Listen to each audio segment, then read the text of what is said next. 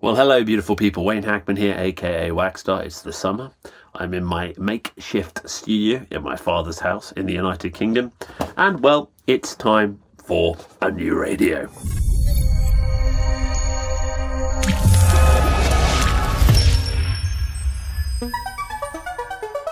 For those of you who have been connected to the channel for a while, you'll know that I'm a licensed amateur radio operator in Kenya and also in the United Kingdom. And one of the things I like to do when I come back to the United Kingdom is play around on 70 centimetres and 2 metres. In Kenya, there's not a lot of opportunity to do that. We don't use those uh, frequencies very often because there are not many operators and the only place that it really works is in Nairobi where there is one repeater. There's one repeater for the entire country. So I live 300 kilometers away. And so any chance of me getting access to the VHF UHF repeater is incredibly limited.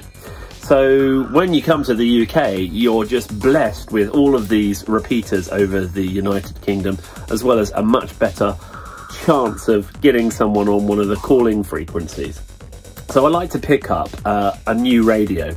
Last year I bought the Retevis RT95 and I brought it back with me. I'm going to be using it again in the United Kingdom, but I thought I'd change my idea of handsets. Uh, a lot of us are very familiar with the Baofeng UV5R. I've even done some things about the Baofeng UV5R on my own channel, but I thought I'd pick up a Retevis, and this is the another Retevis, This is the RA79, and it's another handheld which you can program using Chirp and I'm going to put a custom firmware on it as well. I'll talk you through the process. And it just seems to be another option that I'm going to play around with during my time here in the United Kingdom. Let's go and have a look at the box.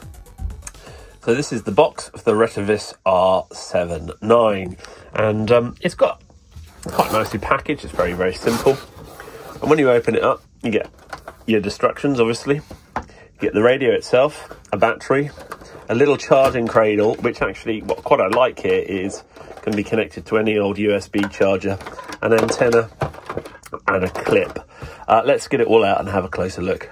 Of course, who, those of you who are used to the Baofeng UV5R, this actually feels a little bit more solid and uh, a bit more substantial. The thing is with these Chinese clones is what happens is someone comes out with it, then another person clones it and clones it and clones it clones it, the price becomes cheaper and cheaper and more competitive. But as a result of that, the quality goes down. I have to, for a radio that's around thirty pounds, uh, this is this is feels fine and dandy for for what you want. And actually, one of the things I really like about it is you've already got a little pocket protector so you don't accidentally switch the radio on, which I was always doing for the Baofengs. The radio itself operates up to 5 watts. I don't have the ability to test that, but I'm sure you can find reviews online that will help you with that. Uh, it has an input of 5 volts up to 1 amp, uh, and then these are the frequencies it operates on 44 mega, 144 megahertz all the way up to 430 megahertz. But in a moment, I'll show you how you can put a interesting firmware on it that can actually open up a whole load of its receive range as well as its transmit range. But obviously, if you do that, you have to make sure that you are transmitting within the bounds of your license. So this is it all put together. What do we notice about the radio itself? Well, it's got this large, fantastic volume knob on the side.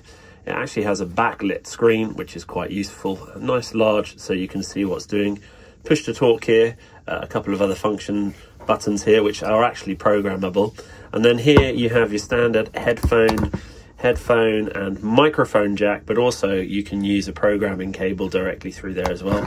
What's also very interesting about this radio, and it's, it's one of the appeals, particularly if you you know you don't want to carry your charger around with you all the time, it actually has the charging capacity of USB-C, which is great because if you have a USB-C phone, uh, all you need to do is carry one charger with you, particularly if you want to take this out with you and uh, make some contacts on some of the repeaters. It's um, not particularly heavy, but it feels pretty robustly made. Um, if you drop it, I think it will withstand one or two drops. So it's um, looking quite promising. Now, the thing is with the firmware that is on the current radio, it's okay, But I have been experimenting with another radio of this and I've actually found a firmware which I think is much better. However, I will just say if you put this on, I suspect it does or will invalidate its warranty, but it does open up some interesting features that you might think useful. Uh, I'll show you how to do that now. For those of you who are used to programming these radios, you can just use a standard USB uh, to the sort of headphone microphone programming cable. Now, Retevis did send me one for this particular radio, but it didn't work with my Mac. I thought it was something to do with the cable, but when I plugged it into a Windows PC, it was fine. Fortunately, I had a Baofeng one, which does work perfectly with my Mac. And um, Chirp is very easy. Once you've connected it all up, you can download the radio and uh, uh um, and download all of the, the settings on it. But I want to just do uh, something a little bit more interesting to this is actually want to put a uh, um, custom firmware on this and I'll show you how to do that. But disclaimer, if you do do it, I, I don't know if, if it invalidates the warranty or not, but it certainly opens up some interesting features and the broadcast capability of this radio. So I'm going to put a custom firmware on this called the Egzumer and I'll put the link in the description. It's a very easy way of updating your radio to a slightly more capable firmware. Again, disclaimer, you do this at your own risk, potentially invalidating your warranty and damaging the radio. Now, how do you do this? Well, the radio has a couple of ways or a couple of things that you can do to to um, uh, to configure it. There's a secret menu that you can do by, I don't know if I can do this, holding these two buttons down, so this the, the, the push to talk and the uh, what do you call it, the, the, the next button down. When you switch the radio on, it brings you into a, a, secret menu where you can configure all sorts of interesting things there. Um, you can actually even open up the transmit capabilities within that. But what I want to do is I want to put this into firmware mode. So using the same sort of technique, you hold the push to talk button down and then turn the power on. Uh, if I can do it one, uh, push to talk and then phone on. And what happens is um, the, the power on, and what happens is you can see that there's this light here on top which says it's ready to to to receive new firmware. So now the radio is in firmware receive mode. What's great about this flasher is you can do it through the Chrome web browser. And you can see this website here is, is put in. Um, I tried to flash it earlier and, and I realized the cable wasn't seated properly. So make sure the cable is seated properly. You've got it into firmware mode. And then just by click, uh, clicking flash firmware on the website, choosing the cable that's connected to the radio, uh, Bob's your uncle. You can see it's now receiving the firmware. You can see that it's flashing. It's already up to 30% right now. And um, it's putting a new brain into that uh, Retevis to make it a little bit more like its big brother, uh, the Quansheng radio.